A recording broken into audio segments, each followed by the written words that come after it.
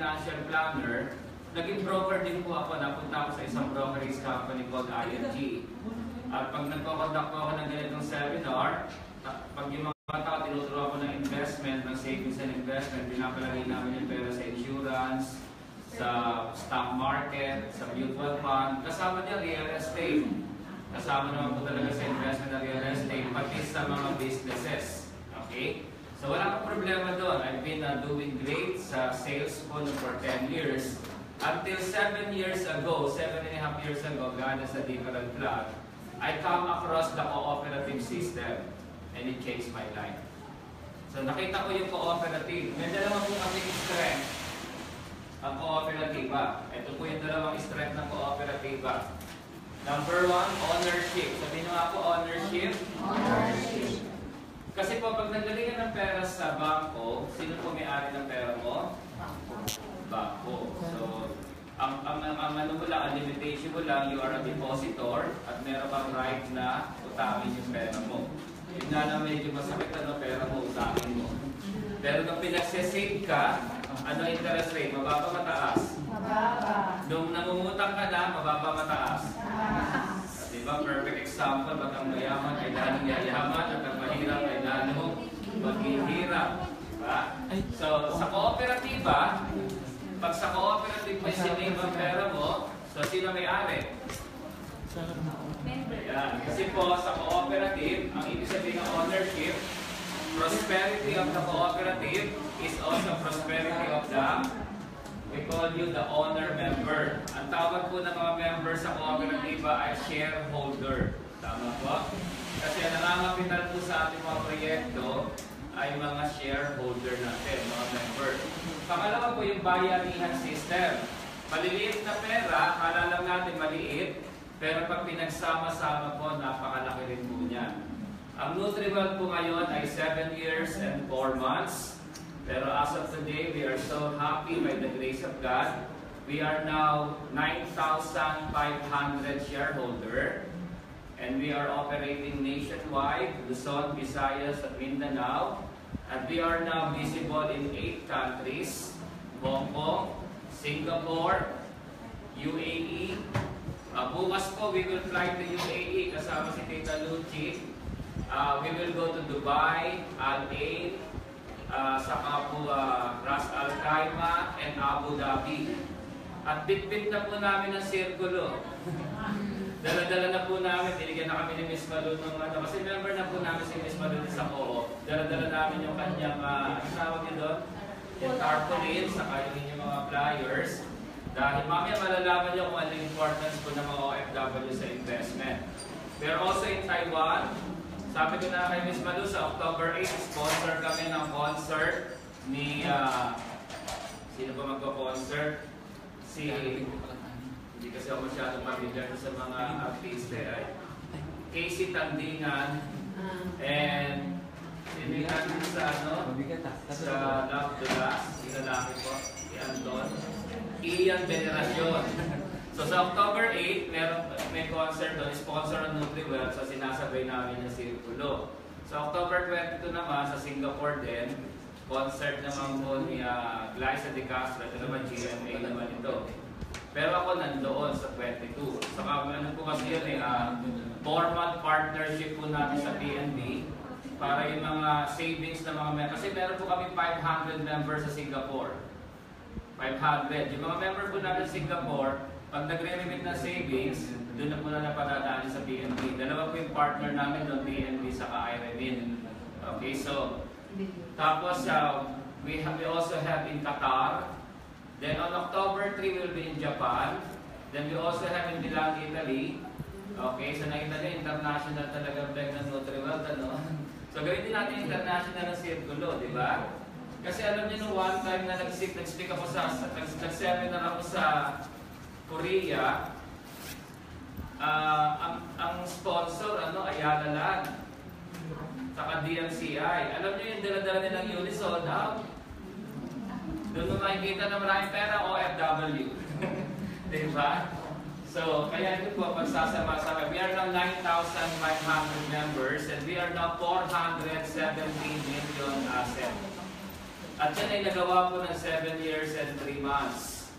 Diyan niyo makikita na talagang pagka nagkaroon po ng unity. Ibig sabihin po cooperation through unity, joining forces, willing, willingness to share money, abilities, and resources. So ibig sabihin po kasi, pag pinagsama-sama mo talaga yung maliit na bagay, pwede po yan lumaki. Okay? At gusto namin po talaga magkaroon ng matinding reforma sa cooperative system na hindi nyo lang po iisipin na ang cooperative ay utangan. Gusto po namin makapaintindi sa mga tao na pwede pong payamanin ang mga tao ng kooperatiba. Okay? So by providing them total financial solution. Okay? So, from the Republic Act 9520, this is our constitutional base of the cooperative system. This is actually authored by Senator Sabili. And the number one very purpose of cooperative is to encourage thrift and savings mobilization. Alam niyo po, I'm a financial planner. And I'm a registered financial planner of the Philippines. Okay po, RFP po kasi ako. Pero hindi ko po siya in-apply sa corporate. Dinaanan ko po yan lahat. I'm a licensed insurance agent. I'm a licensed uh, real estate agent. Lahat na yata ng exam din ko eh. Noong nasa sa DMCI ako talaga nakapag-training ko na extensive sa real estate. Okay po, so kaya doon ako nakapag-exam. But in Nutribel, this, dito natin na-apply ngayon, yung tinuturuan natin yung mga tao ng financial literacy. 14 po yung purposes ng cooperative. Okay, 14. Pero we'll just focus on the very first purpose lang. Dito lang po tayo sa financial literacy. So, ang NutriWell, ang kooperatiba po kasi ay under the government agencies called CDA. Ang CDA po ay Cooperative Development Authority. So, hindi po tayo under SEC, tayo po ay under ng CDA.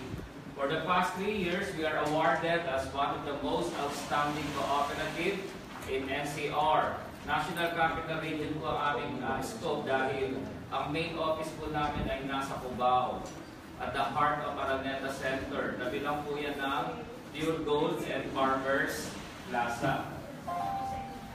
Last year, we are so privileged na Executive Order number 1 ni President Duterte ay dinidirect na ang kooperatiba sa Office of the President. Okay?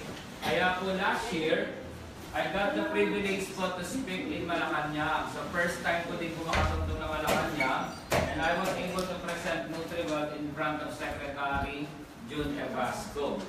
At dahil sa meeting po na yan, nabuo po ang isang programa na ang Nutriwell po ang kauna-unahang kooperatiba sa buong Pilipinas na magpapacilitate po ng Drug Rehabilitation Center. Yan po ay i-grand launching namin sa December 6. Okay? So, what's, what's the focus of Nutriwell? Ang focus po natin ay solution. We need to provide people solution. Kung katulad niyo po actually, sa totoo lang po, ang real estate ay hindi lang din po yung basta pagbebenta ng house and lot o pagbebenta ng condo. Ang real estate po is also a financial solution, isn't it? Yes. Why? Because we always teach people that the, not, the most cruel form of debt, the most cruel form of debt is renting. Yes. Because it only goes up and it never goes away. Right? And I was so happy dahil sa mga na-meet ko, ah, ako po ay ka-third year ko na po na nakatira dyan sa Cebu. At wala akong kahirap-hirap ang ahente sa akin ng, ng sirkulo dahil ako'y walk-in. At kaya hinahanap ko si Donna. Parang nakakilala ko sa inyo kay Donna Santos. Kasi ano yun eh, area manager yan dito, sales manager, di ba? Wala siyang mahirap-hirap sa akin. So, we provide people solution. Why? Because money has been a problem for so many years, isn't it? It's a generational problem. That's why this seminar, I promise you, this is not just a make me feel good seminar or just punan lang yung inyong makating oras. This is a life changing. It can change your life forever. It may not be applicable to you personally, but I promise you there are people around you that needs to hear this and needs to be educated financially. So in NutriWell, once you become a member, not only that you are a shareholder, but we are going to equip you financially. I personally write, I personally created all this module, and we call it practical wealth management. Okay? Practical in the sense na paglabas mo, is applicable to everybody, mayaman, mahirap, bata, matanda, may pinag-aralan or wala. Okay? And currently, recent, uh, currently I'm writing a book and hopefully by the grace of God it will be published next year. I entitled it Financial Solutions Today. It actually has three factors. Number one is biblical. Okay? Why biblical? Because every financial solution is in the Bible. You just read the Bible and I promise you, you can never go wrong with money. Naloko ka ng scam, can you blame God? No, that God will tell you is in the book. Just read it and apply it. Right? So, it's biblical because there are 2,400 verses in the Bible that talks about money. Sabi ng mga tao minsan pa nagsasarap na huwag daw isali ang Diyos. Bakit mo isasali? The author of saving is God. The author of investment is God. Diba? In fact, Every Sunday, I'm being invited in so many churches across the Philippines to speak in their services. Because I always tell the church, you cannot separate spiritual with financial. It's said to go together. Why? Because if you believe in God, do you believe in God? Yes. Do you believe that God is wealthy? Yes. Do you believe, if God is wealthy, do you believe that God is your father? Yes. And he is your, you are, you are His child? Ang tanong, nakakita ka na ba ng tatay mayaman, anak mahirap? O di may conflict. Because how can you say that the father, that is that the God, that the God the Father is your is your father, that the God is your father, and He's a wealthy God, and His child is poor? Financial struggle should end. It has to end. Normally, financial struggle will end if you are equipped with financial literacy. It's practical and it's comprehensive. That's why NutriWell, we call ourselves Total Financial Solutions Provider. Okay? So, wal- ah, wala naman kami ibang iniisip everyday kundi paano susolusyonan ang inyong mga problema sa pera. Maganda ba yun? Maganda bang mission yon? Maganda bang advocacy yon na every day of your life you wake up in the morning and all you do is provide solution to every person that is struggling, that is in deep debt. Diba? So, we are actually, uh, we have a lot of projects, we are a group of companies, meron kami NutriWell Foundation, Association, Manufacturing Corporation, we have a diagnostic center, and we have a rehabilitation center. Later on, you will learn more of this. But let's focus on, on the main thing. Our real focus, we are not, we are not as uh, gifted as you. Most people in the NutriWell are not salespeople. Okay? Kumbaga, mas gifted ang salespeople because ano yung mga salesperson eh.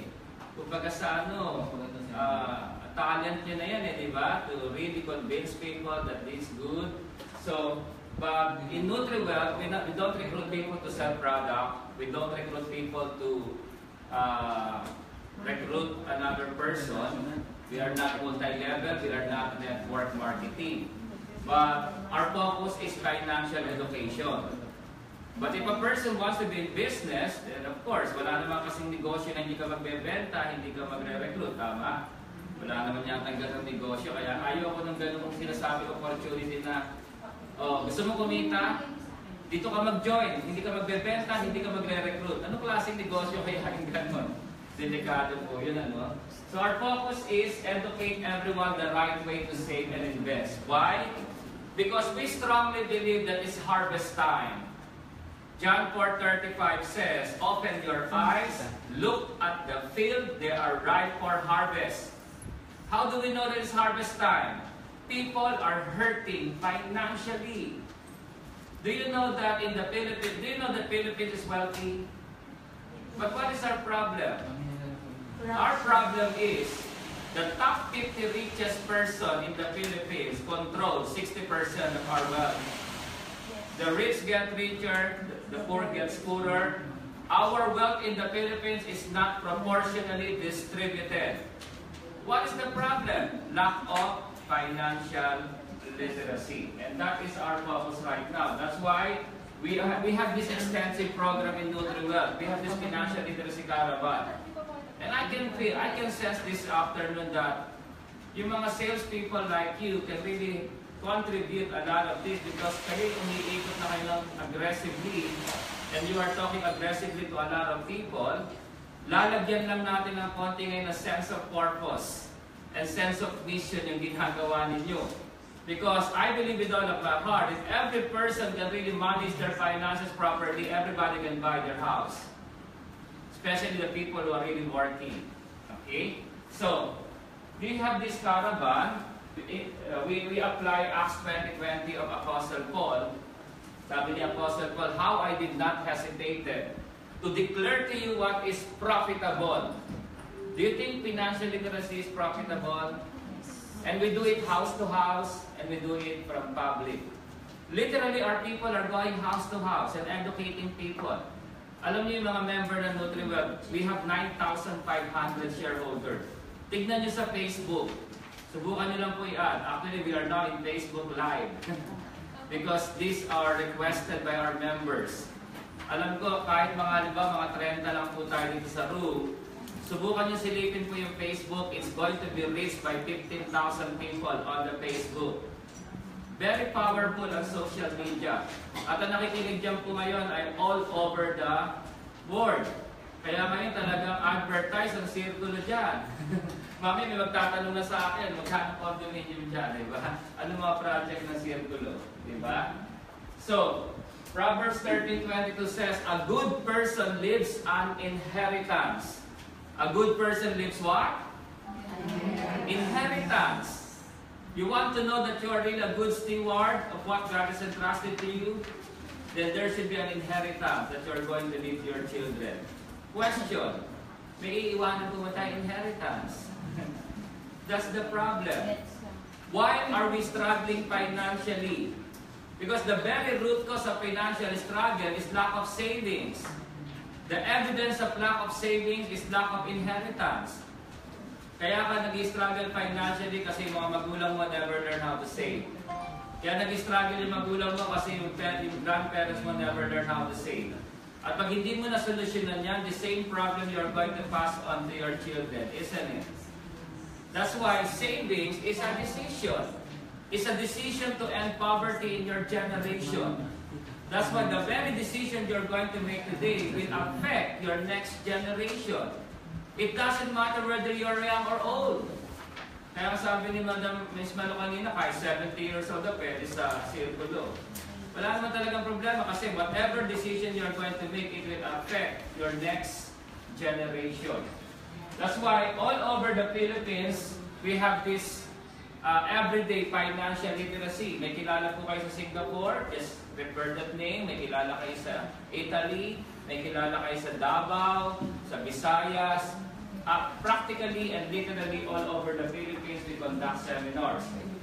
Now, you will never experience financial independence unless you are debt-free. The number one hindrance in building wealth is being in debt. Kaya nga medyo ano to, conflict to sa cooperative system because the focus of cooperative right now is lending. Now, we go across the Philippines, nagko-conduct na ako ng mga seminars hindi lang yung cooperatives. I'm not saying na masamang mangutang. Because ang pang, hindi naman natin kaya mag-produce agad ng malaking pera. Naka, meron na ba sa inyo bumili ng cash? Siguro yung cash na yan, 1 out of 100, di ba? 1 out of 1,000. So lahat yan dadaan sigurado sa amortization. Pero iba naman kasi yung uh, uh, utang sa pagbili ng uh, property. Kasi meron kang asset na tinatawag, meron kang magiging asset. Pero yung mangungutang ka for personal expenses, that is going to be a big problem. That's why in NutriWell, we launched this good program. We call it the Get Out of Debt program. We are so serious in helping our people to get out of debt. Okay, because we believe, pag hindi ka mawala sa utang, ay hindi ka makakabuild ng wealth. Five years ago, I became totally debt-free. Kaya nga ako siguro nakabili ng condo dito sa Circulo eh. Diba? Dahil nawala na rin ako, finally nawala ako sa utang. But ever since, I, Ilang taon ako nag-rent? From the time I got married in 1999 and until the time that I moved here, because this is the first time hindi ako nag-rent. I moved here 2015. Okay, so two years. Ika third year ko ngayon. Okay, so that was August 2015. Now, this is what I learned during the during the lowest moment of my life in finances, nung ako po'y nabaon sa utang millions of pesos. This is my greatest learning. People never plan to fail. They just fail to plan. I believe, since kayo naman po'y nasa real estate industry, I've learned that building wealth is like building a house. You know, you ask the engineers here, and engineers are everywhere here in Circulo. You ask the engineers here and the architects, how do they build a house? They carefully plan. How do you know that they carefully plan? Because they have this what we call the blueprint. Isn't it? Buti pa daw ang bahay pag tinatayo may blueprint. Ang buhay, kaya sino nagko-collapse? Bahay, buhay. And who is more important, bahay or buhay? That's why in NutriWell, we want people to have this financial blueprint. This is the concept that changed my life 15 years ago. And I've been sharing this concept for the last 15 years of my life. Nagpalit-palit na ako ng negosyo, nagpalit-palit na ako ng opportunity, nagpalit-palit na ako ng mga ibebenta, nagpalit-palit na ako ng gagawin sa buhay, pero hindi nawawala itong aking real mission, the financial blueprint. Now, if a blue, if, if a house, alam naman natin pag nagtayo ka ng bahay at may blueprint, siguradong okay ang foundation, strong. The same thing, pag may financial blueprint ka, you can build a strong financial foundation. Now, our blueprint is not as as uh, hindi siya kasi complicated ng mga engineers. Ang blueprint natin ay simpleng X. Re- literally X. It was conceptualized by Art Williams. Pwede niyo i-google yan mamaya. Art Williams right now is 75 years old. He owns Primerica in US. Para din lang yan si ano eh, si Art, si, si Rich Dad Poor Dad. Sino nga author nun? Robert Lesa. Ayun, parang si Kuya Saki yan si Art Williams, si football coach turned into an insurance company. Kasi yung Primerica na pag-aari niya is an insurance company. In-apply niya yung expert niya sa insurance company. And Art Williams, A. Williams, belongs to the top 400 richest person in the world, in, in US. Okay? So, but in the Philippines, we apply this X-curve in savings. What is X-curve? The line going up, we call it the law of building wealth. The blue line is law of building wealth. From no savings, you have to end up with big savings. Otherwise, pag hindi ka nagkaroon ng savings sa dulo, you will become part of the statistics where 95% of the Filipino people retires broke. So from no savings, how do you build it? You have to increase your money line. As you grow older, dapat your money is ever increasing. Now, if you ask people, realistically, is their money ever increasing? Ano tumataas? Sweldo, gastos.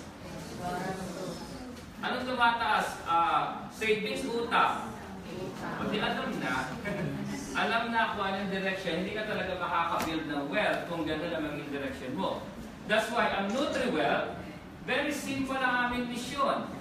Find a solution to increase your savings line the fastest way you can. Kaya rinig mo itong X-Curve na ito, magandang tools ito sa mga salespeople. Kasi you cannot push people to buy a property kung wala siyang savings o hindi tama ang kanyang finances. Diba? Ang problema mo kasi, pag hindi tumaas ang savings line mo, hindi rin bababa yung red line. The responsibility line. Have you ever noticed every April and May, typical example, what is the number one problem of parents? Every April, May. Tuition fee. Kung meron kang pinaparang na grade 1 hanggang mag-graduate ng college, ilang taon yon? K-12 plus 4-year course, 16 years. Taon-taon na lang problema mo tuition fee. Bakit? Kasi every time na may enrollment, wala kang savings for education. Tama? Kaya tama pala yung kasabihan, very practical. Pag may sinusok, may madudukot. Since wala kang sinuksok, wala kang madukot, dahil wala kang madukot, mangungutang ka. So nakita niyo po yung cycle of poverty natin. That's why we have to find a way. We have to find a way to increase the savings line. Araw-araw ng buhay namin sa NutriWealth, yan lang ang pinag-iisipan namin. Paano kami makakakreate ng project, ng program, na tataas ang savings line ng aming mga tao? Because there's no way, kung hindi kasi masusolusyon ng tumaas, the same problem na ipapasa mo sa mga anak mo. And they will also live in financial struggle. So, there are two important factors in you increasing your savings line. Okay, so yan ang mission natin, paano patataasin ang savings line. There are two important factors. Number one, cash flow. Say cash flow. Cash flow. Kahit naman kasi anong turo mo ng savings, kung wala namang pera, hindi hindi makakasave. Kahit naman anong, anong sabi mo na mag, pinakamaganda ang sirkulo, di ba? Wala rin naman, wala talagang pera, hindi mo rin mapipili. So, in, in cash flow, you have to teach people how to make money. You have to find a way how to make money. Then, hindi niyo pwedeng paghiwalayan. Ano niyo po itong dalawang principle na to, partner to. Cash flow, stewardship. Cash flow, stewardship. So let's start with the first one, the cash flow. The foundation of financial planning is cash flow. I'll give you, uh, based on my personal experience, I'll give you five principles on how to make money. Number one, start with our mindset. 2 Corinthians 9.11 says, God will make you rich. And part of being rich is owning your own house. you have to own your own condominium. Kasi paano mo sasabing mayaman ka hindi ka makamakabili ng properties, di ba? So, God will make you rich in every way so that you can be generous in every occasion. But it starts with your mindset. You have to believe it that you can have it. Secondly, the pattern. Eh kahit naman anong kita mo ng pera, kahit naman kumita ka, katulad dito sa real estate, isipin mo kahit naman 3% ang commission, tapos naka-close ka ng 6 million, edi magkano ang commission? 180,000.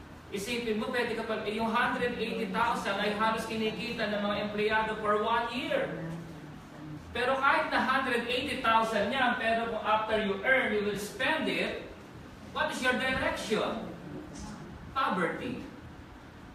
That's why, sa isang bagsak ng pera sa inyo, dapat alam niyo nang gagawin. When you work, you earn, you have to save. When you save, you have to invest. And when you invest, you need to do business. Sounds like Chinese. Tama ba? Yung number two sounds like Chinese. Who controls now 80% of the business in the Philippines? Diba? Medyo ang tingin pa nga nasa kanila, kinikriticize pa sila na medyo kuripot, ganyan sa pera. But somehow, mukhang kailangan natin i-borrow yung kanilang culture. Diba? Kasi sila yung nagiging successful. So we have the mindset, the pattern. The third one is ability. Deuteronomy 8.18, God gives you the ability to make money. It takes ability to sell one unit. Tama po ba? Pero isipin mo naman, makabenta ka ng isang unit, kung kumita ka ng 180,000, eh kung nakabenta ka ng tatlong unit, 540,000, kailan mo kikitain yan sa tra- pagiging empleyado? Diba? Ako nga, ilang unit kung kung dati hindi ko naman siya talaga, hindi naman siya part ng career ko, part-time lang. Pero one, nung nakabenta ako sa unit, talaga ramdam na ramdam mo na it separates from your uh, monthly income from being an employee. Proverbs 10.4 is the blessing of the Lord that makes a person rich. Every day of your life, before you get out of your house, you always put your hands like this and tell God, God, bless the work of my hands. Because it's the blessing of God that will make you wealthy. And lastly, sa, sa, sa bahagi ng Proverbs 10.4, hard work. And hard work means, if you're in the sales, it's a numbers game. Tama? You want to close, you want to close one unit, you have to talk to 100 people. That's the ratio. Kasi kung gusto mo makaklose na isang unit, tapos you will just close to, you will just talk to 10 person, and probably you're just playing chances. O parang iniisip mo, you're just play, playing uh, good luck. Diba? Swerte-swerte. Baka swertehin ako sa sampu, may isa. Pero kung gusto mo talaga ng sigurado, you play the numbers game. Din sa NutriWealth eh. How do we build 9,500? Probably we have talked to 100,000 families already. Diba? Business is always numbers game. So increase your cash flow all the time. Your focus is to make money all the time. Why? Because hindi habang buhay you have all the energy. How I wish I would be like Tita Luchi. 66 years old but still travels around the world and still share this mission of NutriWell. In, kung tutusin naman, dapat retired na siya. Enjoying life. Pero sabi niya, kung hindi ako mag-share at tutulungan yung mga tao para mas lalo ako nakihina. Ah, di ba? Kaya pagkasama namin si Tita Lucia, hindi kami makapahinga eh. Kasi pag umupo kang ganyan, ako makikihiya ka naman. Ang bata-bata ako, mas bata yung mga tapos kami pa yung magpapahinga, di ba? So, pero realistically, not, hindi all the time you have all the energy. You have all the strength. So while you have the energy, keep on making money. And when you make money, you have to create multiple streams. Let me tell you one thing. Any person who is dependent to single source of income never make, will never make it. You can never have a single source of income. Kahit sabihin mong full-time ka sa Circulo Verde as a sales agent, sales broker, you have to understand, kailangan meron ka pang ginagawang iba. Halimbawa, eto yung main mo, full-time ka dito, sales people. Pero dapat siguro pwede ka naman maglagay ng negosyo. Yung negosyo naman, mag-hype ka lang na magmamanage, tatakbo na yung negosyo, tama po ba?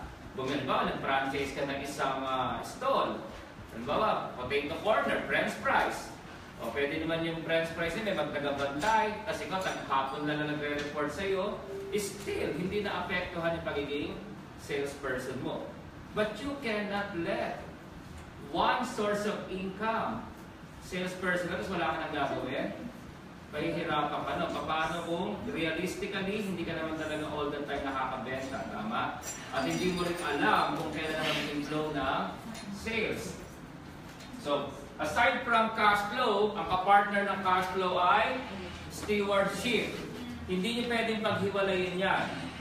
Stewardship is your ability to make money work for you. Your ability to make your money grow and multiply. The parable of the talent says in Matthew chapter 25 verse 29, if God entrusts you with little things, God is expecting you to make it grow.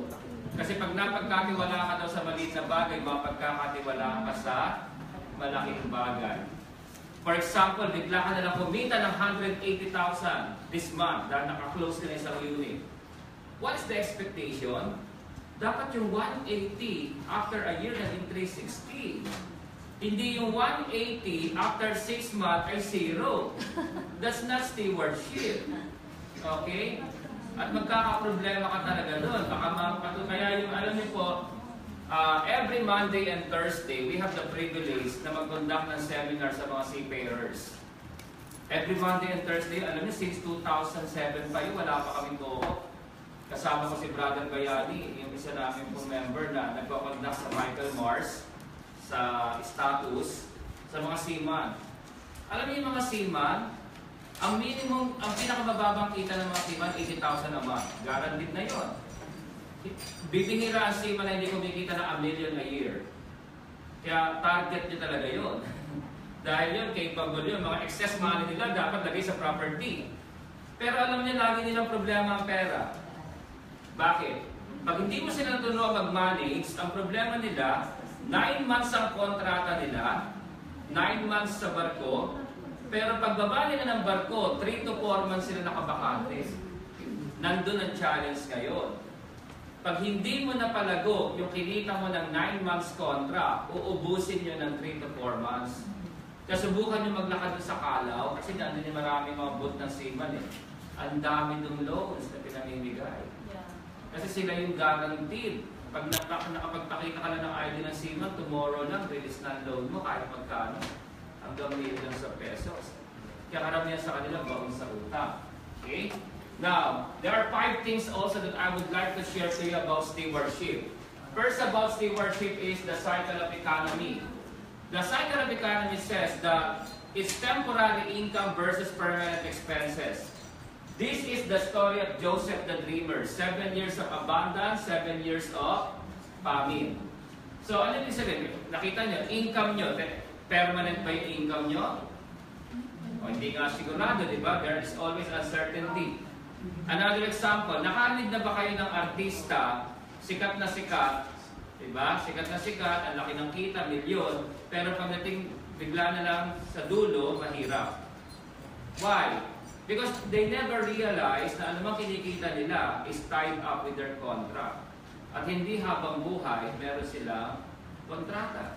Same thing with OFW. The reason behind na kami po, as I, as I have told you, kasama ko sila Tita Lucy, tomorrow we will fly to Dubai. At hindi po ganun kadali pumunta ng Dubai. Nine and a half hours ang travel. Diba? But we have to sacrifice. Because we have to teach the OFW. Ini-insist namin sa kanila, anumang kinikita mo ngayon, it's bound to be saved and invested. Because next year, you are not sure if you have income. So you have to find a way to save it and invest it. Kaya dapat ang direksyon ng mga OFW is always savings and investing, savings and investing. So, because there is a cycle. Para pag wala na yung income mo at umuwi ka ng Pilipinas, you have fall back. And hindi, hindi ka mag-struggle financially. Kasi sayang eh, lalaki ng kita. Diba? So, another, number two is the financial success formula. The financial success formula here, you have to keep one-fifth of the harvest. Okay? You have to keep one-fifth of the cash flow. So, tatlo nga yan eh. And while doing it, everybody needs financial mentor.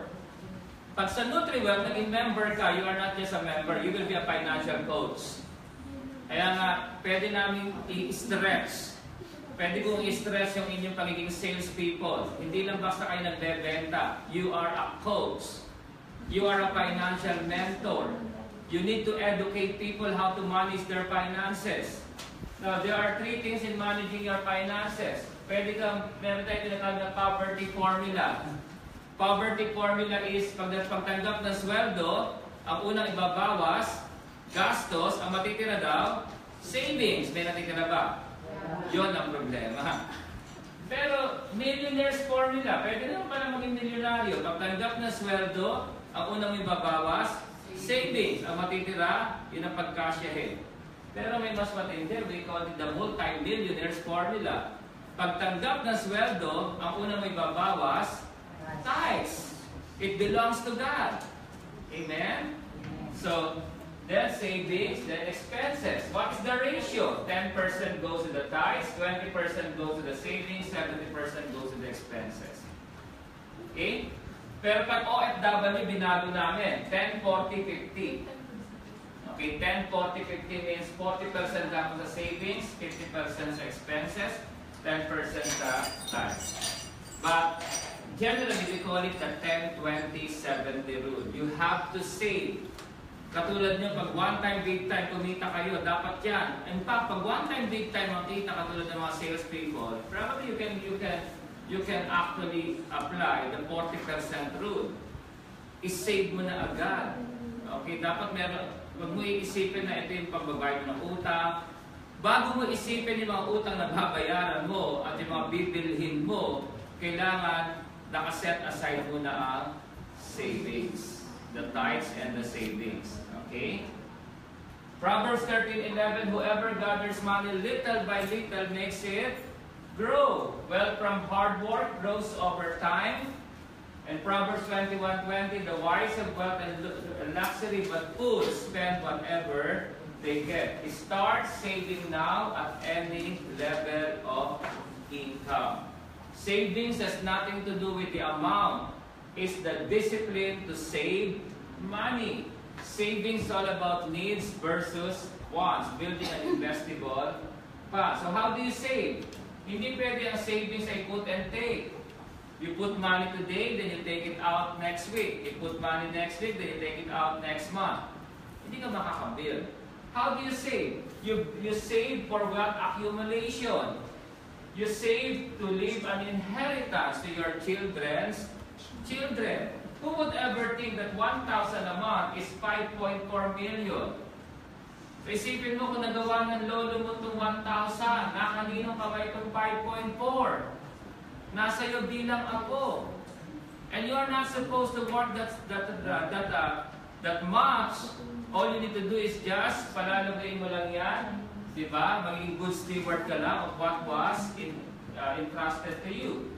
Like for example, in Thailand, Kakagaling lang po namin two weeks ago. We have this one member by the name of Sister Wina Del Rosario. She, she's been working for 34 years as an OFW. 34. 15 years in Hong Kong, 9 years in, uh, 10 years in Singapore, and now on his 9th year in Thailand. Domestic helper. Pero in Thailand, interestingly in Thailand, he, she owns a restaurant. Filipino eatery in Sri Racha. Sri Racha is around two and a half hours from Bangkok. So makikita nyo, meron siya Filipino eatery. Pero still, may, mapapansin nyo, bukas lang yung restaurant niya, Monday to Friday, 5 to 10 p.m. at Saturday, Sunday, whole day. Why? Anong ginagawa niya ng Monday to Friday ng 8 to 5? She still has to work as a nanny tutor sa anak ng mayor na si Racha. Sabi ko sa kanya, alam niyo po ba, kinumpitan ko siya. Sabi ko, in the last 34 years, you have the ability to save at least 3,000 a month. Kaya nung nakita ko sa kanya 3,000 a month, dapat by today, you have 16.3 million. And she was surprised. Kasi uh, kaya pag nakikita niyo siya testament, lagi sinasabi sa akin, bakit niya ko na nakilala ang NutriWell? But I told her, God is, God's timing is always perfect timing. God is a purpose. In fact, from right there, doon sa kinatatayuan niya, kinaupo niya, sinabihan, sinabihan namin siya, we are making a declaration this, this afternoon.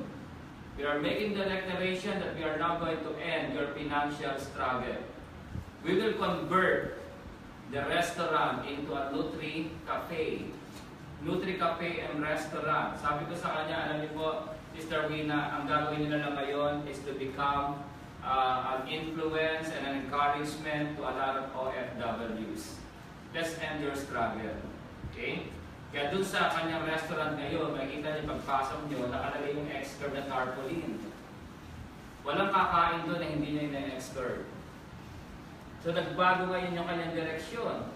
Dahil she is a good cook, eh, iniisip niya dati, naku, ayoko ng coffee siya kasi passion lang niya is in cooking. Sabi ko, there's not, there, there's, walang problema. You still cook, but at the same time, you have people understand financial literacy para hindi sila makarating doon sa katulad ng inabot mong struggle for 34 years. Right? So, that's why here in NutriWell, our mission is so strong. We want to make a difference in the lives of every family. Because naniniwala ako na hindi lahat po ng pera ay puro lang, hindi lahat ng negosyo ay puro pera lang.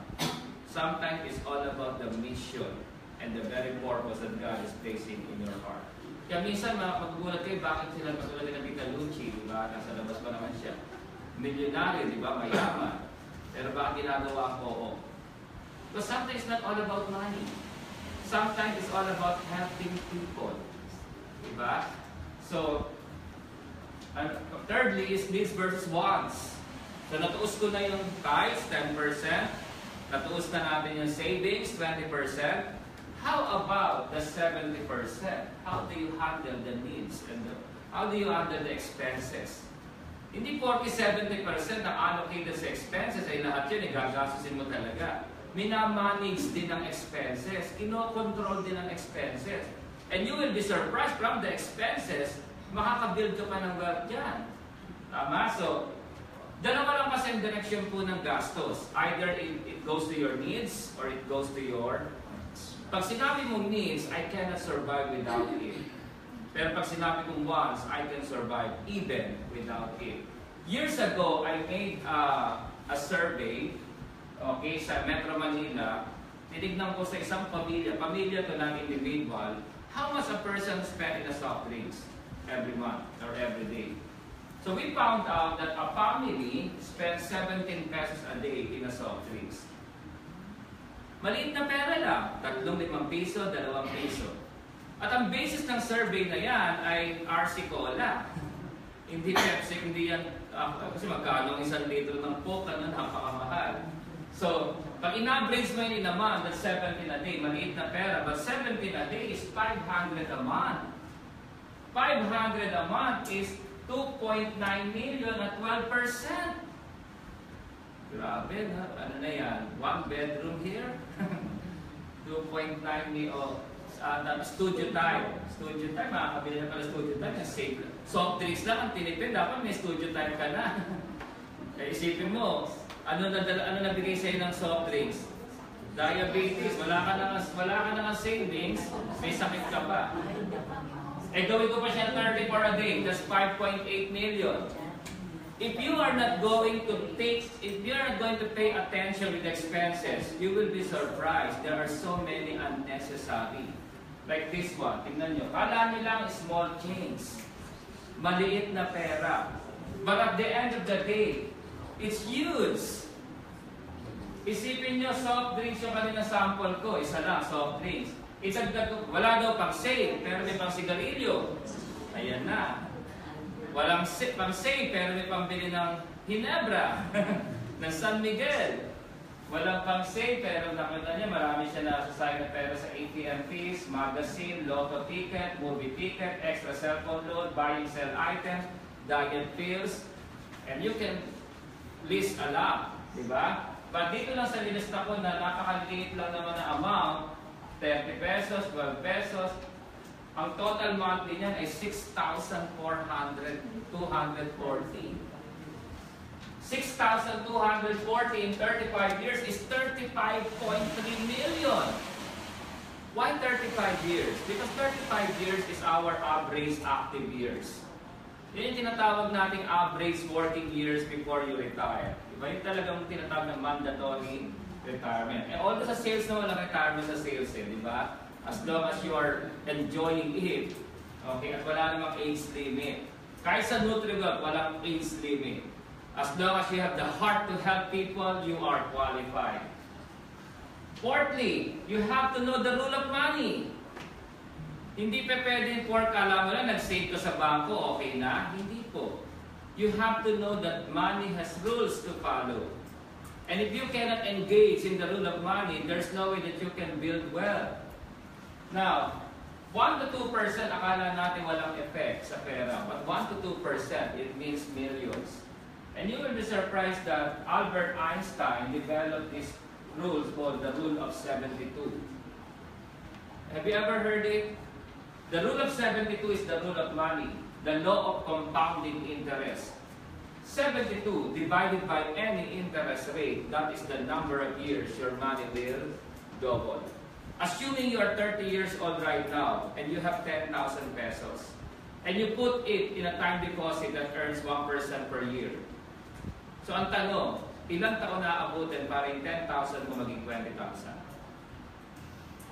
Diba? Ngayon, divide na natin. 72 divided by 1, it will take 72 years. So 30 years old ka, may 10,000 ka. 30 plus 72. Yung 10,000 mo, pagdating na 102, magiging 20,000. Mabilis mabagal. O, diba? So, dito natin nakikita kung ba't lalo yung mayaman ang mayayaman at ang mahirap ay lalo naghihirap. Like for example, real estate is a great business. Kaya pansinin ninyo, yung nasa top 10 richest person in the Philippines, pansinin nyo kung ano lagi mga negosyo naka-insert. Number one in the list is Henry C. He owns SMDC. Then we have Lucio Tan. Lucio Tan owns what? The, ano ba? Eton. Diba? Then we have Ayalas. Alam na natin Ayalas. Then we have, uh, sino yung sa ano po? Sa DMCI? Consulhi, o, di ba? Nakita, bilyar. So nakita niyo mga nasa top, eh, di ba? They are all real estate uh, developer. So, the rule of money says, isipin niyo po ang problema natin sa Pilipinas. Paano kaya yaman? Ang interest ng utang savings mo nasa mababang interest. Ang interest ng utang mo nasa mataas na interest. Yayaman ka ba? Alam niyo itong example na to, illustration na to, ang pera mo dyan, negative 24%. Mababa na, kaya kung hindi mo una, i-knock down mo yung utang mo kasi ang utang mo nasa 12%. Tapos ang savings mo nasa 4%. Kaya nga halimbawa, bumili ng real estate, sinasabi ko palagi na siguro pwede na yung 10 years. 10 years na ang term kasi the longer the term, katulad na ino-offer ng pag-ibig, di ba? Umaabot ka ng 30 years, eh matanda ka na, di ba? Nasira na yung bahay mo, hindi ka pabala. Di ba? Kung 10 years kasi, pero yung 10 years, may plano din yan. Pwede mo naman kasi i-restructure yan. Kung nagkapera ka, bayaran mo na ng bayaran agad. Eh, mababawasan yan. So, knock down your debt here, then transfer your savings in a higher interest rate. So instead of a negative 24% equity, then you transfer it, it become a plus 24%. That's the rule of money. So kailangan alam din laruin, di ba? Na you have to find a way to grow your money. Kaya nga yung, yung cash flow, making money. The stewardship, saving and growing money. Take note, it's not just saving, it's saving and growing. Halimbawa, is it, kaya nga minsan, yung iba kasi iniisip nila, pag nag invest daw sila, baka ma-scam sila, sila natatakot iba sa investment. Okay na, natural lang yun. Natural talaga na may mga tao na uh, maloloko ka. Pero, ang ang pag-grow ng pera po, ang scam, hindi po yan determined by interest rate. Take note of that. Hindi siya nabibenta na sa internet. For example, sabi sa akin, yung akin daw, yung akin daw binili sa civil, nung una yan, parang ang, ang value pa lang ng binili ko dyan ay parang 80,000 per square meter. I don't, example ko lang po ito, no? just to give uh, illustration. Pero ngayon, sabi ni Miss Malu, 90,000 na raw. Pwede ko meron na akong equity na 10,000 per square meter. So, ibig sabihin, kumita na pala yung pera ko ng, kumita siya ng 600,000 in just 2 years. O, di 300,000 per year. O, ilang percent yun? Diba? O, perfect example na lang isang cellphone. Bumili ka ng cellphone ngayon, worth 10,000. Binenta ko. Binili ko yung cellphone ng 8 a.m., tapos pagdating ng 12 noon, binenta ko, min, aba, may bumili 12,000. Binili sa akin ng 12,000. Magkano kinita ko? 2,000. Mag ilang percent? 20. O sasabihin mo ba na, I earned 20% in 4 hours. Scam ba yun? Diba? So, ang scam po ay hindi na determined by interest rate. Scam is determined by business activity. The reality kung bakit marami na i-scam, they never scrutinize kung saan dinadala ang pera. Ang nakita lang nila is interest rate. In fact, hearsay pa nga eh. Diba? Hearsay. Parang, diba? Baka, mahilig ka sa Senado ngayon, di ba? Yan ako Facebook live ako. Baka, baka madulas ako, baka magpabitaw ng pangalan. Pag sa 4%, ang 100,000 mo naging 400. Sa 12%, ang 100,000 mo naging 6.4. Anong difference na 6.4 sa 400? 6 million. Nakanino ka ba yun? Yun ang tanong. Every day of your life, you have to ask question. Because money has only two direction. Either you win or you lose. But every time you are losing, somebody is winning. Every time you are losing, you are getting poorer. And every time you are getting poorer, somebody is getting richer. You lose 6 million, somebody gains 6 million. Hindi lumilipad ang pera. That's why every day of your life, you have to ask question, is your money on the winning side? Or is your money on the losing side? Now, I designed a program in NutriWell. We call it the 5 years. Double your money in 5 years. It's a time deposit plan. Kasi ang mandate naman ng kooperatiba ay pwede tayong mag-create ng time deposit program for the members. For the members lang, kasi bawal po mag-invest ako of non-members. Double your money in 5 years, just to prove that money can work. It's not enough that you work hard to earn money. You need to make money work harder than you. May 5,000 ka, nilagay mo sa time deposit sa bangko. Lagay mo dyan sa baba, BDO. After 5 years, what happened to your 5,000? It becomes 5,520. Magkano kinita? Kaya hindi na masyado iniintindi ng mga tao interest rate. You put it at NutriWealth, your 5,000 becomes 10,000. How much ang magkano earnings? So where will you put your money? Kaya literally, yung mga members ng NutriWealth, pinuforce talaga namin by force. Withdraw your money and transfer it to NutriWealth. Kung hindi ka pa masyadong confident sa investment, I, I said that you can always apply the 80-20 rule. 20% lang. May isang million ka sa bangko. I'm not saying that they do only 1 million lagay mo sa NutriWell. You can start with the 20%, 200,000. Alam niyo naman ng mga Pilipino, to see is to believe, di ba? So, pakiramdaman mo, marami na kaming ganyan. Total, we are now 7 years. We have people who've been investing to us for the last 7 years, but started with small until nakikita niya mabuti kung ano nagiging result. Then, the last thing is building generational savings. Because ang pagbibuild is like, ang pagsisave ay like seed. It pass on to your next generation. Kailan mo sasabihin sa mga anak mo, kailan mo sasabihin sa pamilya mo, ang ganitong statement, You will never be poor. You will never work for somebody else. You will never go abroad because I have enough money to leave you. You can only make that declaration if you are able to build a generational savings. This illustration is a three-generation thing. Pag, pag pinagmasdan niyo mabuti, parang Henry C. yan. Henry C. in 1936 in the Philippines started as three children in Skonta at the age of nine. But you know what? They, they never stopped saving money. Right now, Henry C. is 93, 94 years old. And yet, hindi naman 1 billion lang ang na-build niya. Pero sa 1,000 a month, billions, pwede pala, oh. Sana nagawa ng lolo mo, no? Sana dinala ng soft drinks ng lolo mo. soft drinks lang pala, mga 1,000 na eh, no? Another thing in about generational saving is we have to pay attention. Alam niyo, dito sa- as a real estate, if I were you, focus on the OFW. 12 million OFW. Ang monthly remittance nila ay 1.4, uh, yearly remittance ay 1.4 trillion. But please take note, ito reality.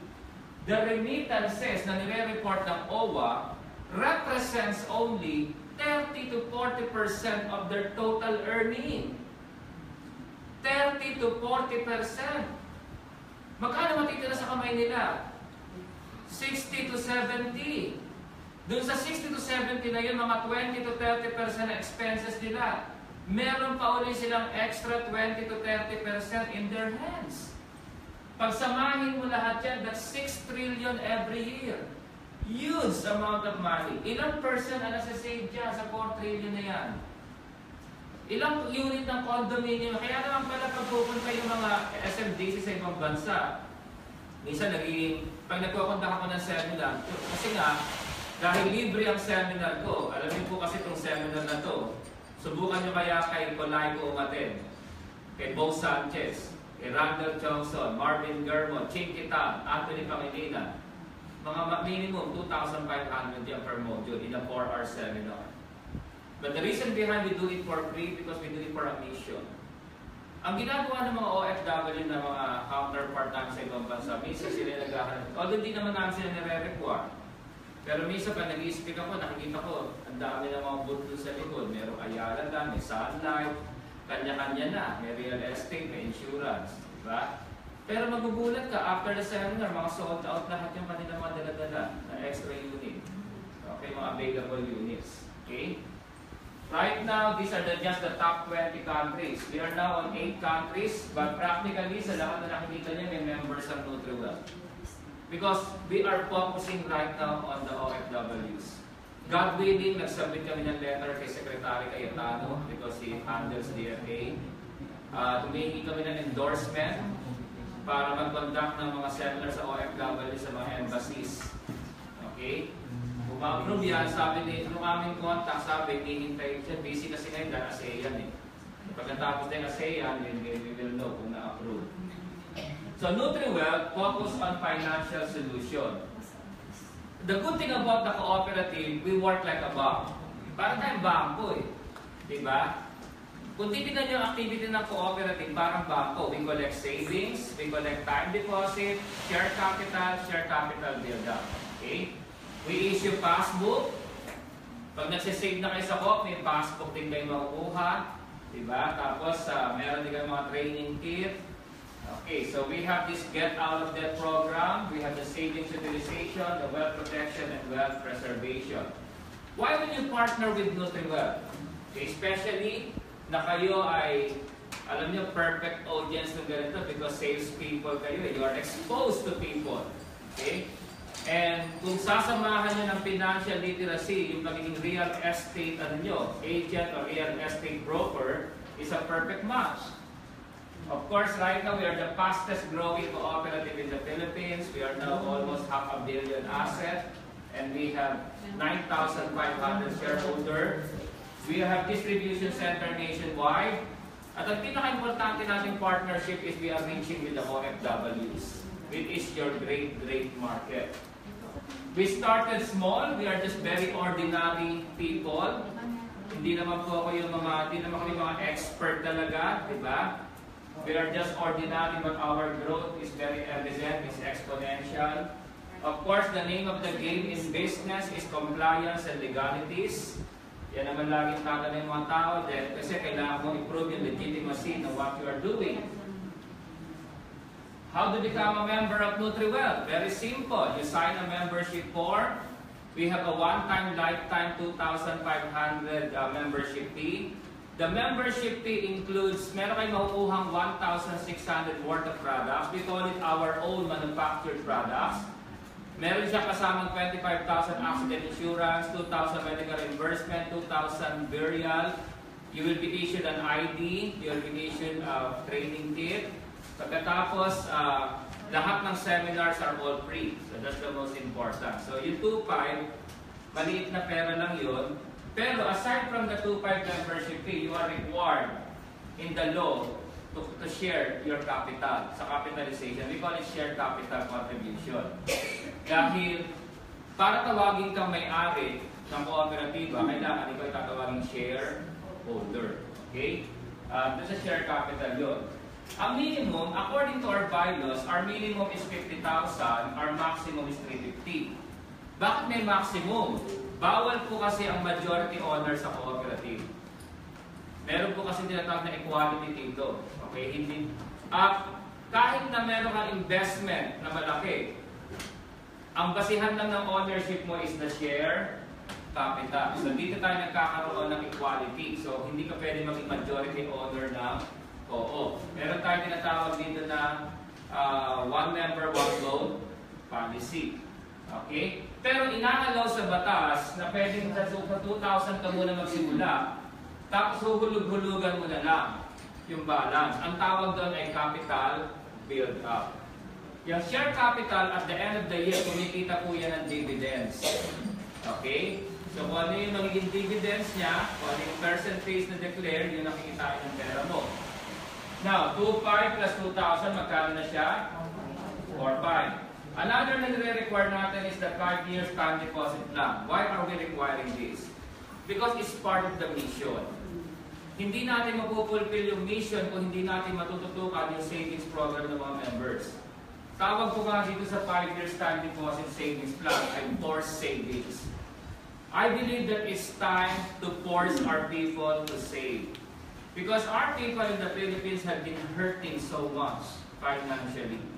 Now, how do you determine the 5 years time deposit plan? You will apply the 10-20-70 rule. Kaya halimbawa, pumupunta kami Singapore, ang average savings nila is 3 to 5,000 per month. Ang mga domestic helpers sa Hong Kong, ang average savings ay 2,000 to 3,000 a month. But when we go to Qatar, their average saving is 5,000 to 10,000 per month. It really depends on your monthly income. But the minimum, you can start with 1,000. So 2,500 plus 2,000, 4,500 plus 1,005. Okay? So then, babay, babalikan natin yan. Next question. And this is the most important question that, that you will face pagka kayo po ay nagtuturo ng savings. Okay? The most important question here is, is your savings, okay, is your savings and investment in NutriWealth safe? Ah, di ba, lagi naman ang tanong, ano? Is NutriWealth strong and stable? So how do we know that we are strong and stable? Because we are using Joseph example of investment. Okay, yung Joseph example is our most important thing. Okay, kung paano minanage ni Joseph the Dreamer, yung 7 years of abundance and 7 years of famine, we followed it. How do we do it? We utilize your savings and put it into an income-producing asset.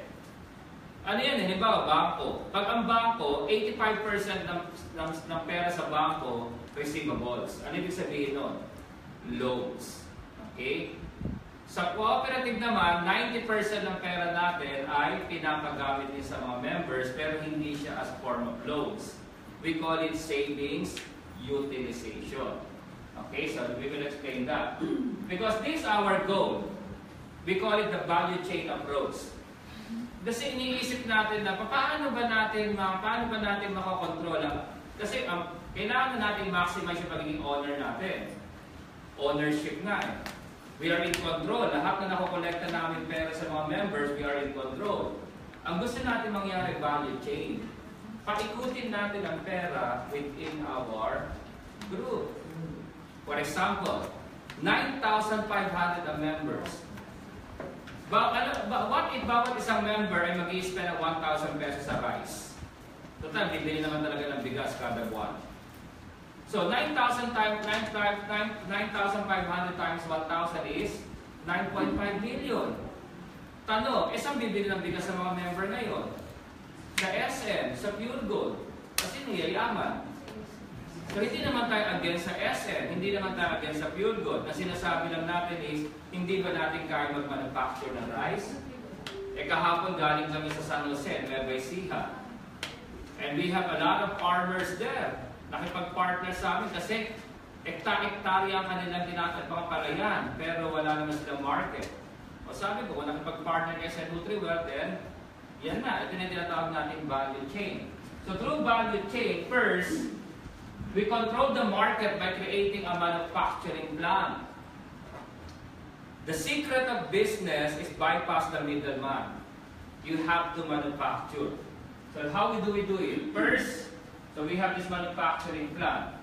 First to manufacture is, we manufacture agricultural crops. Okay? Kaya ngayon, gusto namin baguhin ang mindset sa farmers. Alam niyo po ba na there are 30 million farmers in the Philippines? Ang problema natin sa 30 million na yan, 70% are aging, 55 years old and above. Bakit hindi walang successor? Kasi ganito magsalita yung mga magulang na farmers eh. Anak, mag-aral ka mabuti para hindi ka maging magsasaka. Grabe, no? Alam niyo, we will revolutionize the Nutriwell. Ganito na ang ating sasabihin. Anak, mag-aral ka mabuti, nasa lupa ang pera. That is our battle cry today. That's why, pag ngayon, since you are in real estate, do you know that I'm always teaching people that real estate is a great investment. Properties is a wonderful investment. Okay, no question about it. Pero, pag ang properties ay nakatiwangwang, liabilities. Ulitin ko po, ang lupa na nakatiwangwang ay liabilities. Akala ng iba, bumili lang ng lupa at pinabayaan lang, asset na. Hindi po. Bakit yan liability? Una, ang appraised value ng lupa every year ay 6% per annum lang. Eh ang ating inflation, 6% na. E di zero ka na. Babayad ka pa dyan ng real property tax. Babayad ka pa ng maintenance sa katiwala mo. Diba? So, ibig sabihin, you have to convert properties in an income-producing asset. So meron tayo ngayong technology called the Bio-Nutri-Green. Pag may, katulad nyo ngayon, nasa real estate kayo, ibig sabihin, marami kayong mga properties na hawak. Di ba? Pag lupa ay nakatiwangwang, okay, ang gagawin namin, hihingin lang namin yung copy ng photocopy ng title, photocopy ng vicinity map, at ng tax declaration. Tapos bibisitahin namin yung lupa, meron din kami pan-test ng soil. Aalamin namin kung anong pwede gawin sa lupa. Ano ba pwede ko itanim dyan? Rice, corn, vegetable, fruits. Ngayon, pag alam na namin tatanim, dalawang bagay ang pwede mong gawin. Pwede mo ipalis sa amin yung property mo or pwede mo ibenta sa Nutriwat yung property mo. Kung nakalis yan, pwede pa tayong profit sharing. Papagamit mo lang yung lupa mo, profit sharing tayo dito sa harvest. Tignan niyo po ito. Sino mag-aakala ng isang ektarya ng lupa pag tinaniman mo ng dragon fruit, hindi bababa sa 3 milyon kada taon ang kikitain mo? 3 million pesos. Kaya sabi ko sa mga OFW, eh mumura ng lupa sa probinsya. Sabi ko habang kumikita ka, bili agad ng farmland kung may nakita ka. Pero dapat, alam mo gagawin sa farmland mo, hindi pwede nakatiwa mo kasi walang value. Mamaya dyan, na kailangan ka ng pera, bebenta mo rin ng mababang halaga, di talo ka pa. Di ba? So pag, this is the, the one thing.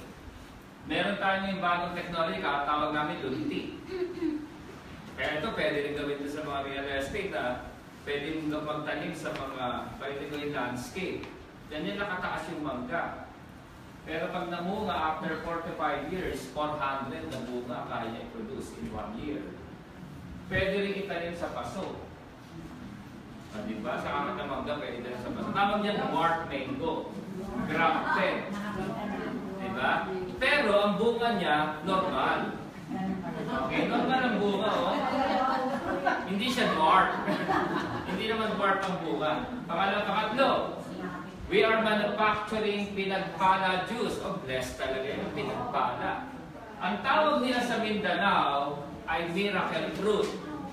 Ang tawag nila sa South Africa, calabash. Hindi kalabasa, calabash. Okay? Yan ay ine-extract natin, ginagawa namin uh, herbal juice. Alam niyo, 7 years na po namin didistribute na napakadami na po namin yung testimony ng cancer survivor. Kasi ito po ay napakagandang detoxification sa dugo. Pero ito, ito ay pine-prepare natin for export manufacturing. Okay, kasi ito ay pangtatapat namin sa mga asahi berry, sa mga intra, goji, okay, pinagpala. Meron din tayong mga herbal food supplement. Natural, nagtanim ka na nga eh. Nagtanim ka na ng malunggay, ano gagawin mo sa malunggay? Pwede capsule yan, di ba? Pwede ilagay sa kape yan.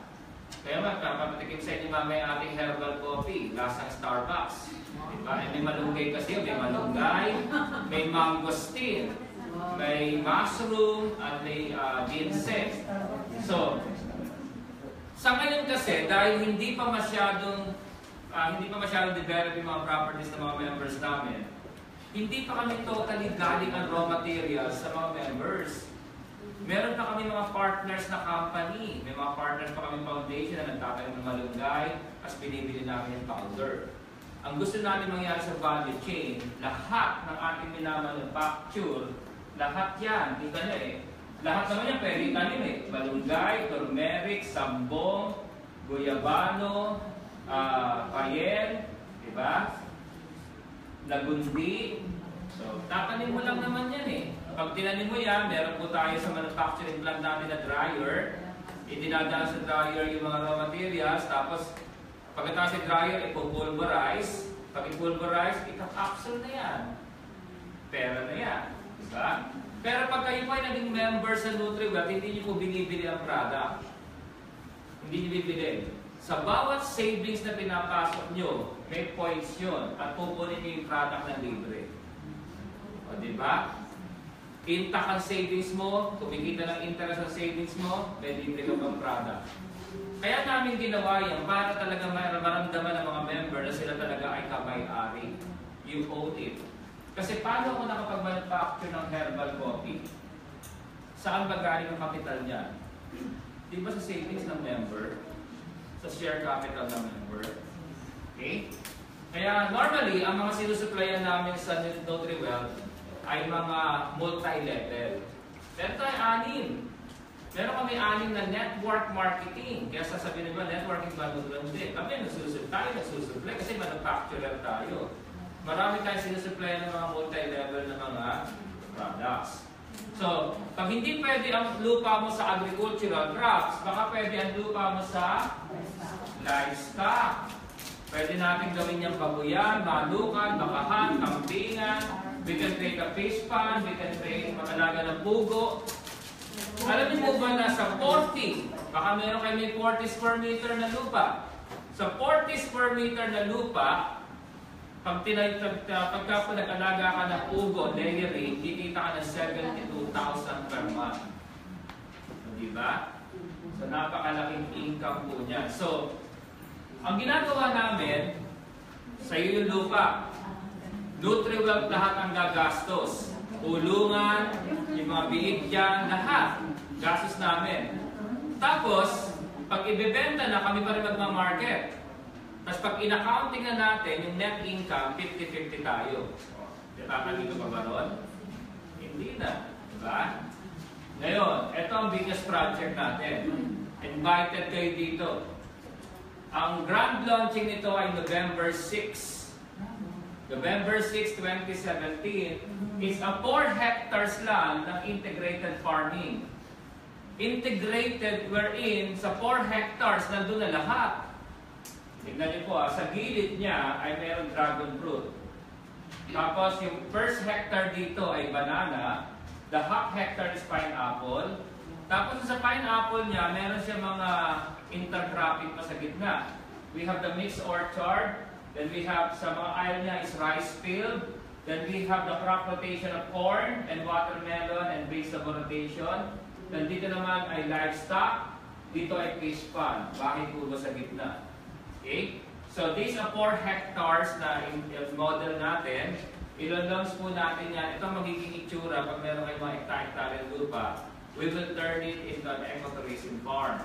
Okay? So, we will invite, in fact, nagbibigay nga kami ng letter up to the office of the pres up to the office of the president, sa office of mga senators, congressman, tingnan namin kung sino pupunta.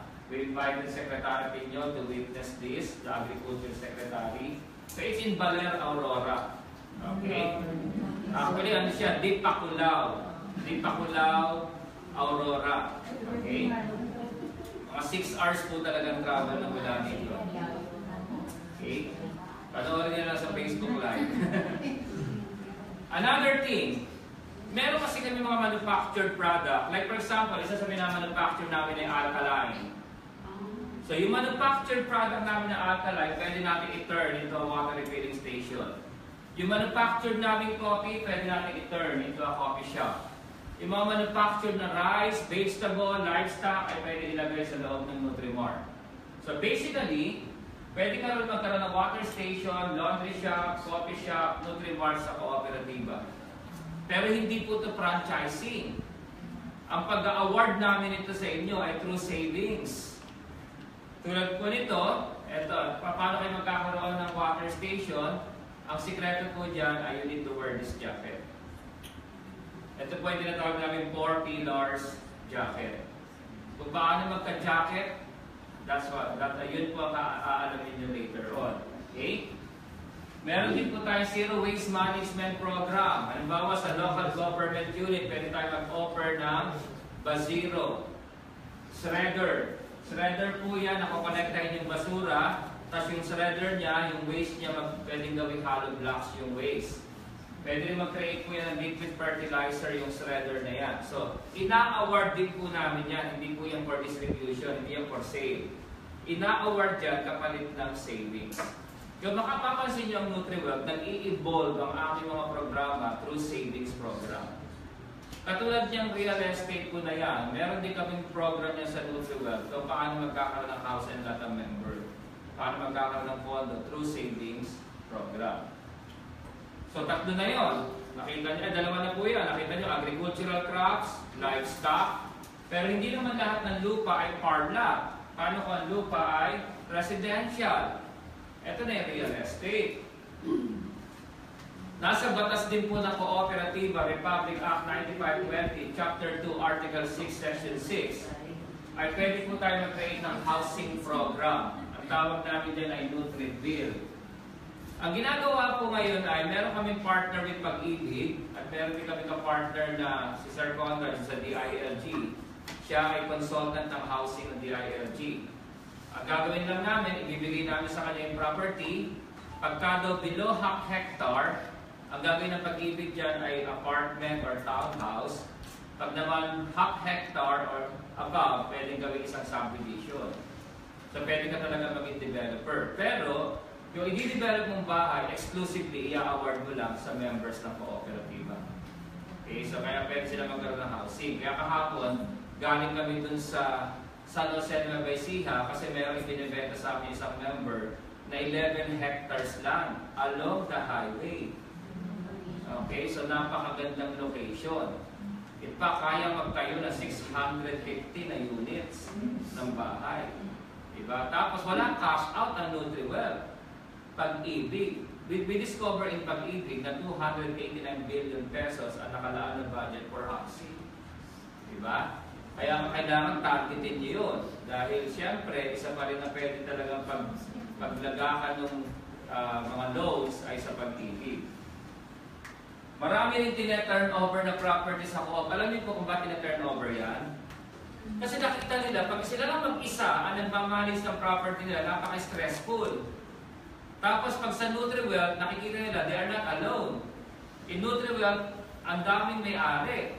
Kung 9,500 na member, 9,500 ang natutulong-tulong. For example, we have this 1,000 square meter in San Jose del Monte, Bulacan, which we are going to build a two-story commercial center.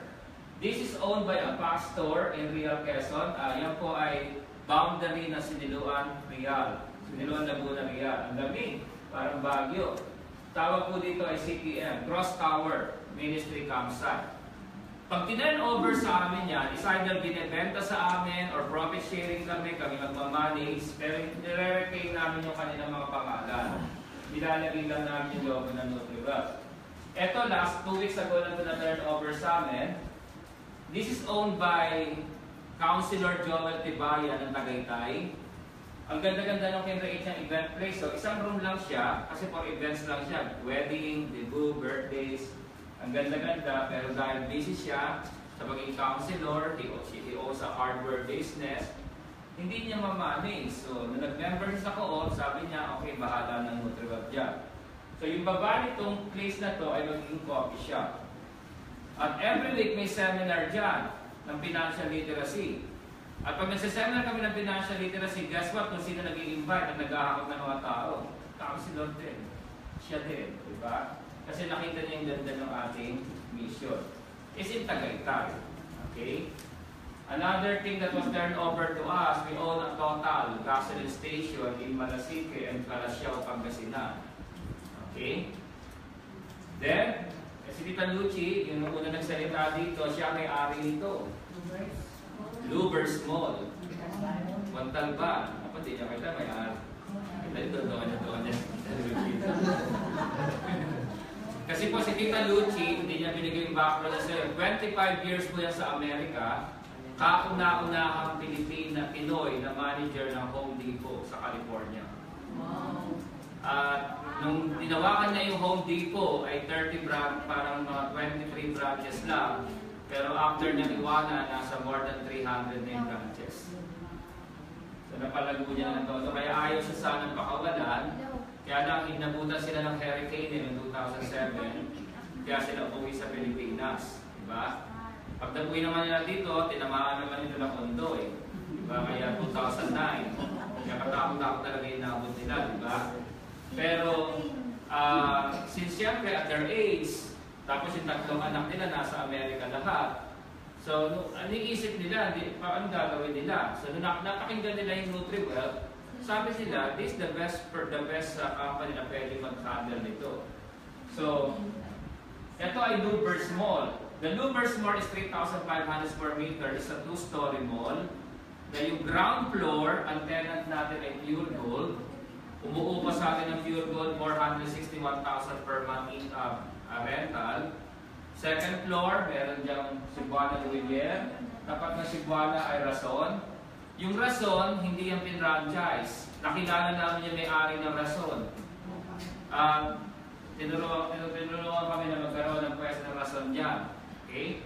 So, pwede, you are, hindi lang siya basta Lubers Mall, meron din siya Lubers Resort and Lubers Residence Inn. It's a four-story residence inn. So, this property is 300 million worth. Okay? So, ang grand reopening niyan ay September 28. You're invited. Okay, na pumunta dyan. Di- dito malapit lang yan, mga, mula dito sa Circulo, 30 minutes yan. 30 minutes kung dito ka dadaan sa Marikina. Okay? Although pagka naman walang traffic, 30 minutes pa din kung sa EDSA ka dadaan papuntang Payatas. Kasi 20 minutes, mga 15 minutes na lang siya from Payatas hanggang papunta sa Montalban. Okay? So dito rin namin isa showcase yung unang-unang laundry shop ng NutriWell. Okay? Meron din diyang salon, may optical. Pero yung resort na to, ipo-program ko na lang sa mga members. Okay, that you can you can be here for free kapalit ng savings mo. Okay?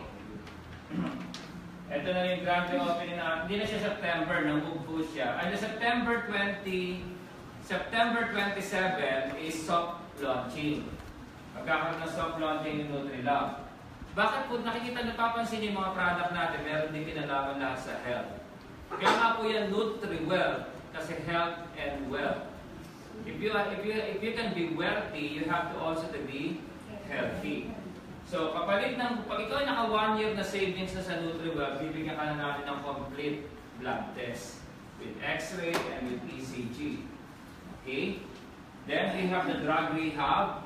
In-inaugurate natin ito noong February. Kasama niya si Congressman Bravo, si CDA Chairman Rabanera, si Hardin ng Panalangin, Pastor jo Joey Umali. Okay?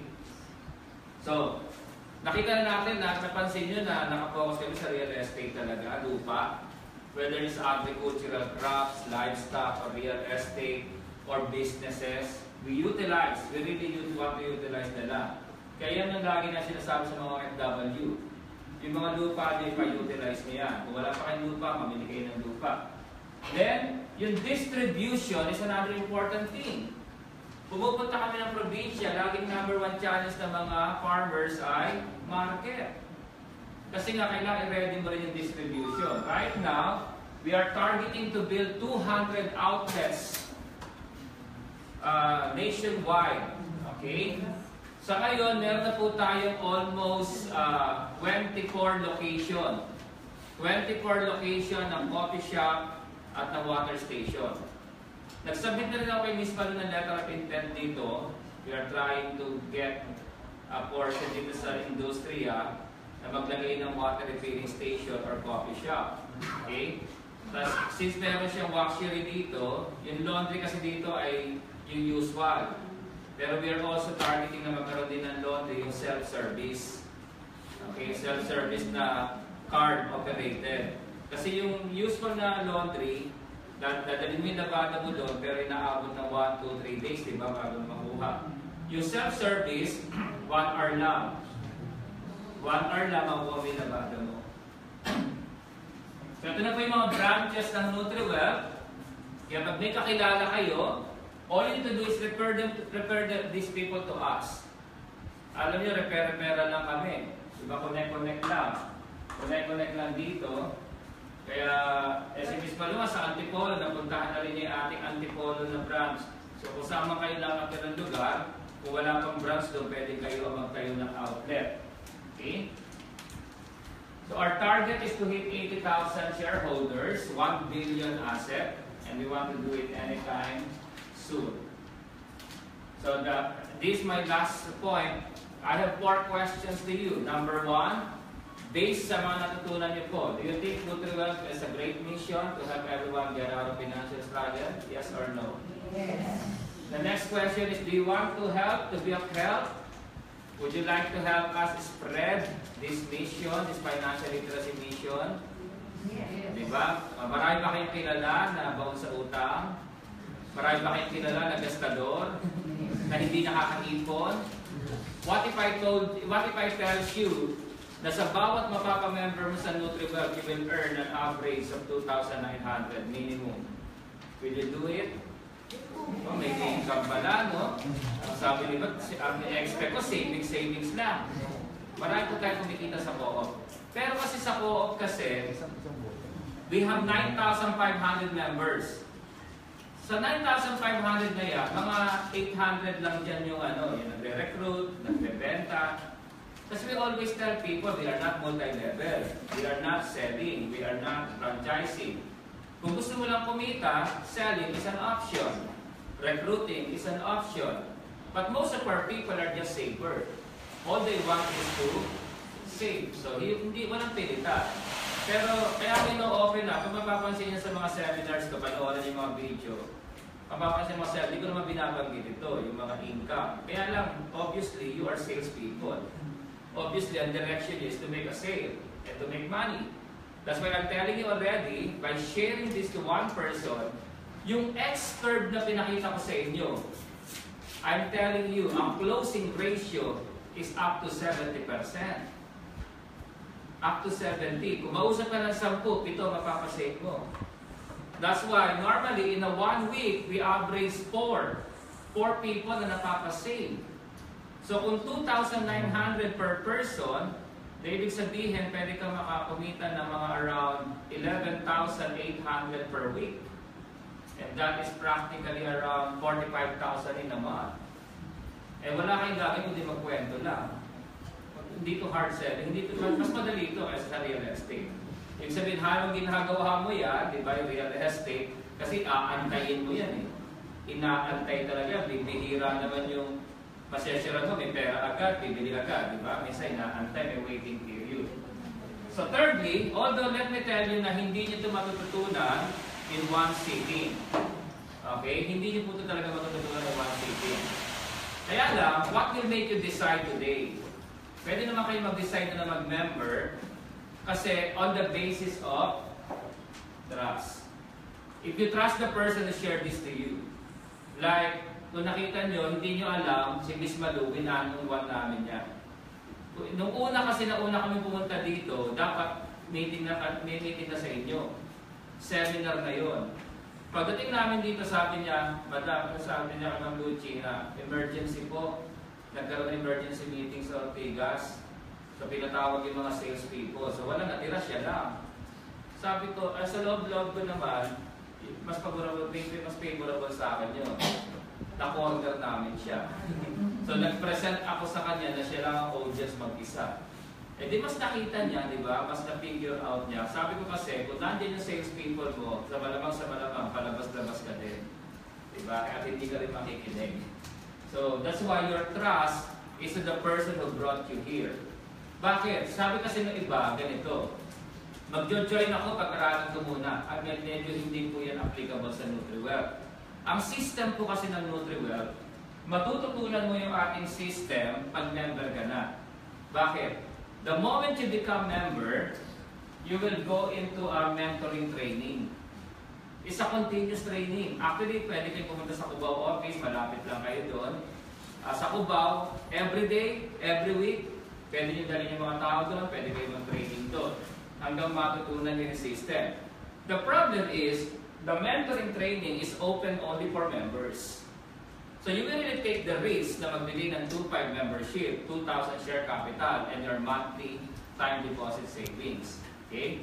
So the first, the first commitment, ngayon, ang pinaka first step nyo is sign up the membership. So we are not expecting na meron na kayo ng pera ngayon. Pero yung, yung um, malalaman na, ma, ma, report ko kay Miss Malu, na kung sino interesado, kung sino magsa-sign up ng membership. Tapos sabihin nila lang kay Miss Malu, kailan nyo i-deposit ang payment. Okay, pwede naman po yun. So, hindi naman natin yan agad na pinupwersa na mag-member eh, ay magbayad ka na agad. So, eh, ano naman yung understandable. So, dire-diretso ating training. Okay? At pag kayo ay naging 4 Pillars Club, Ang four pillars, sabihin ko na sa inyo, approximately nakapagpa-save ka ng 20 people. Yun lang. Mga pagka mga 20 people na na-close mo na nag-join sa NutriWell, you will be awarded with this jacket. At pag suot mo na itong jacket na to, ay you are entitled for a water refilling station and coffee shop. Okay, it will be given to you for free. Yun ang yun ang programa natin sa NutriWell. Yun na yung sa ngayon pa lang ano, hanggang mabuo namin yung 200 outlets. At pag suot mo na yung jacket na to, habol kayo, baka pwede na kayo makasama doon sa September 28 na training sa Lubers. Okay? Doon kasi po i-award yung jacket na ito. Okay? Sir, Did you- iba yung ano? Sabi Did you learn something? Sir, Ah, sige, may- may question. Sabi yung franchise na yan. Yung, Ay, Merily, pakipatay mo na yung ano, Facebook live. ba yung